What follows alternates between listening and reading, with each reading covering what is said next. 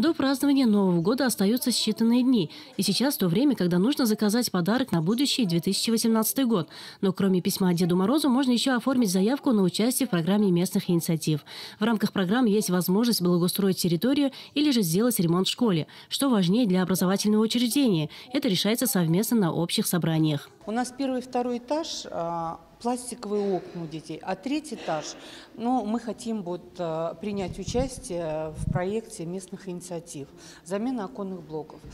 Также мы хотим предложить проект асфальтирования дорожки, прилегающие к школе. Она у нас тоже в плачевном состоянии.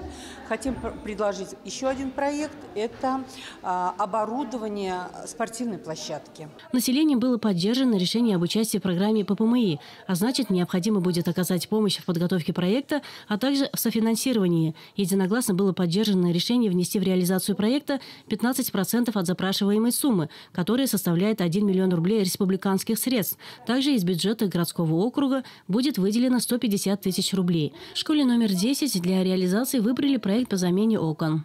Я считаю, что проект этот необходим, потому что нужно ставить окна, чтобы во всех классах были одинаковые окна, чтобы все дети были в тепле. Для реализации проекта выбрана инициативная группа, которая будет контролировать ход работ.